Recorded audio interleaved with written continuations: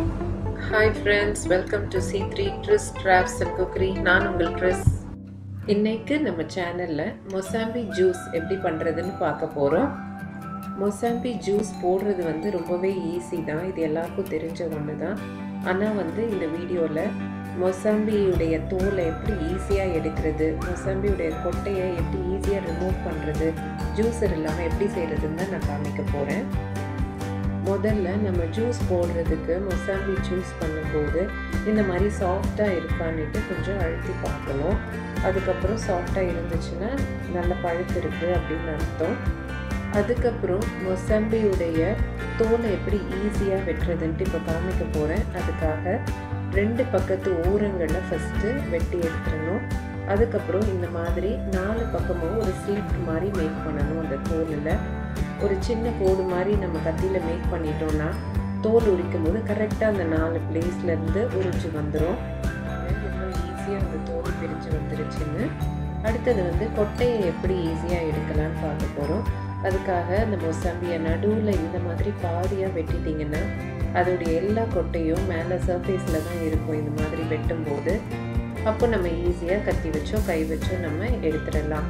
நம்ம இல்லைன்னா ஒவ்வொரு சுழையாக நம்ம எடுத்துகிட்டு இருந்தோம்னா ஒவ்வொன்றுத்தையும் பிரிக்க வேண்டியது இருக்கும். அதுக்கப்புறம் உள்ளேருந்து கட் எடுக்க வேண்டியது இருக்கும்.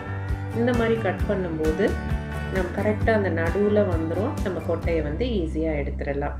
இன்னொரு மொசம்பியும் நான் கட் பண்ணி காமிக்கிறேன். நீங்கள் டெக்னிக் எப்படின்னு பாருங்கள் முதல்ல ரெண்டு உரத்தையும் கட் பண்ணிக்கணும்.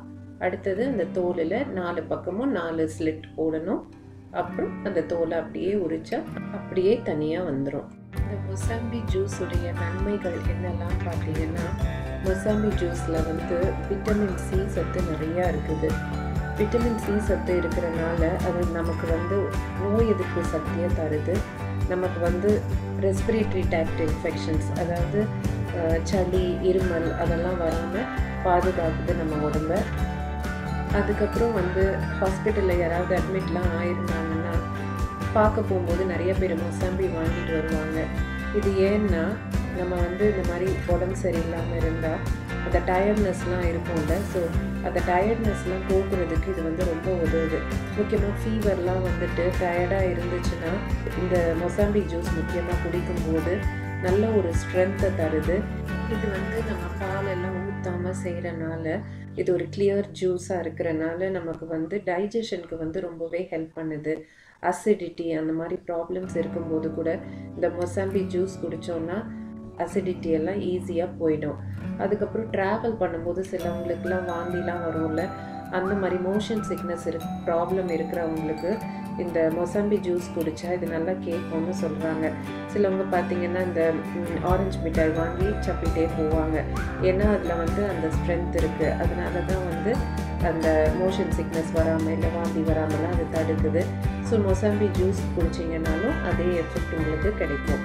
அடுத்தது பார்த்திங்கன்னா எல்லாரும் வந்து நல்ல ஸ்லிம்மாக அழகாக இருக்கணும்னு நினைப்போம். இந்த ஜூஸ் குடித்தா நீங்கள் வந்து நிஜமாகவே ஸ்லிம் ஆகலாம். ஏன்னா வந்து நம்பர் ஒன் இது வந்து கிளியர் ஜூஸ் நீங்கள் வந்து சர்க்கரைக்கு பதிலாக பனி போட்டு மார்னிங்கில் ஒரு டம்ளர் டெய்லி ரெகுலராக குடிச்சிங்கன்னா மற்ற காஃபி பால் அது குடிக்கிறதுக்கு பதிலாக இந்த ஜூஸை வந்து நீங்கள் பனி போட்டு குடிச்சிங்கன்னா உங்களுக்கு வந்து வெயிட்டும் மெயின்டைன் ஆகும். வெயிட் லாஸ்க்கும் இது வந்து நல்லாவே ஹெல்ப் பண்ணும். சரி. முக்கியமாக வந்து இதில் விட்டமின் சி நிறையா அடங்கி இருக்கனால இது வந்து நோய் எதிர்ப்பு சக்தியை தருது. இப்போல்லாம் வந்து சொல்கிறாங்க இந்த ஜூஸ்லாம் ரெகுலராக நம்ம குடிச்சிட்டு வரும்போது கேன்சரை கூட இது வந்து வராமல் பாதுகாக்குதுன்னு சொல்லிட்டு. ஓகே ஃப்ரெண்ட்ஸ் இப்போ நம்மளுடைய மொசாம்பி ஜூஸ் பண்ணுறதுக்கு மொசாம்பி எல்லாம் ரெடி ஆகிடுச்சு இப்போ நம்ம வந்து இதை மிக்சரில் போட்டு நல்லா பிளெண்ட் பண்ண போகிறோம் மறுபடியும் பிளெண்டர் உள்ளே போடுறதுக்கு முன்னால் மேலே இருக்க தூளெல்லாம் அப்படியே எடுத்துட்டு உள்ளே ஏதாவது கொட்டை இருக்கான்னு நம்ம செக் பண்ணிவிட்டு எடுத்துகிட்டு போடணும். ஏன்னா உள்ளே கொட்டை இருந்துச்சுன்னா வந்து அது ரொம்ப கசப்பாயிரும் ஜூஸே அதனால் ஒரு ரெண்டு தடவை செக் பண்ணிவிட்டு நீங்கள் போடுங்க. நமக்கு வந்து ஜூஸர் இருந்துச்சுன்னா பிரச்சனையே இல்லை. அந்த சக்கை கொட்டை அதெல்லாம் தனியாக வந்துடும் அதே போல் நம்ம கையில் பிழிஞ்சு செய்வோம்ல அது செய்யும் போதும் வந்து நமக்கு பிரச்சனை இருக்காது. எல்லா கொட்டையும் மேலேயே நின்றுடும் வெறும் ஜூஸ் மட்டும்தான் உள்ளே போகும். ஆனால் வந்து நம்ம போடுறதுக்கு டைம் எடுக்கும் கையும் கொஞ்சம் வலிக்கும். ஸோ மிக்சரில் போடும்போது நம்ம கொஞ்சம் பொறுமையாக அது மேலே இருக்க தோலெல்லாம் எடுத்துட்டு கொட்டெல்லாம் இல்லையான்னு பார்த்துட்டு போட்டோம்னா தான் நல்லது. ஃப்ரூட்ஸ் எல்லாமே உரித்து நம்ம தனியாக சியூ பண்ணி சாப்பிட்றது தான் ஹெல்த்தி ஆனால் வந்து நம்ம டைம் காரணமாகவோ இல்லை நிறையா பேருக்கு செய்யும்போது இந்த மாதிரி ஈஸியான ட்ரிக்ஸ் எல்லாம் ஃபாலோ பண்ணி நம்ம செய்யலாம். இப்போ வந்து நான் நாலு மொசாம்பி எடுத்து உரித்து உங்களுக்கு செஞ்சு காமிச்சிட்டு இருக்கேன். இந்த நாலு மொசாம்பியும் இந்த நான் ஊற்ற போகிற தண்ணி அளவும் வந்து ஒரு ரெண்டு பேருக்கு வந்து கரெக்டாக இருக்கும். இந்த ஸ்ட்ரென்த்தில் போட்டோம்னா தான் நமக்கு கிடைக்க வேண்டிய சத்து அதுலேருந்து கரெக்டாக கிடைக்கும். டேஸ்ட்டும் கரெக்டாக இருக்கும். ரொம்ப டைல்யூட் பண்ணிட்டோம்னா நல்லா இருக்காது. இப்போ நான் எல்லா மொசாம்பியும் பிளெண்டரில் போட்டுட்டு ஒரு கப் சர்க்கரை அதாவது ஒரு ஐம்பது கிராம் சர்க்கரை இப்போ சேர்த்துருக்கேன். அது கூட ஒரே டம்ளர் தண்ணி சேர்க்குறேன் இப்போது நமக்கு வேணும்னா ஒரு ஆறுலேருந்து எட்டு ஐஸ் க்யூப்ஸ் நம்ம போட்டுக்கலாம். போட்டுட்டு பிளெண்டரில் வச்சு நல்லா அரைச்சி எடுத்துக்கலாம். அரைச்சாச்சு ஃபில்டர் பண்ணிக்கலாம். நேராக இந்த மாதிரி நம்ம ஒரு ஜாரில் ஃபில்டர் பண்ணி எடுத்துக்கலாம். கடையில் இந்த மாதிரி ஜூஸ் ஃபில்டர்னே விற்பாங்க. அதில் நீங்கள் ஃபில்டர் பண்ணிங்கன்னா உங்களுக்கு ஈஸியாக இருக்கும். நார்மல் ஃபில்டர்ஸ் யூஸ் பண்ணோன்னா டீ ஃபில்டர்ஸ் அந்த மாதிரிலாம் யூஸ் பண்ணோன்னா ரெண்டு தடவை பண்ண வேண்டியது இருக்கும். குயிக்காக பண்ணிடலாம் இந்த மாதிரி.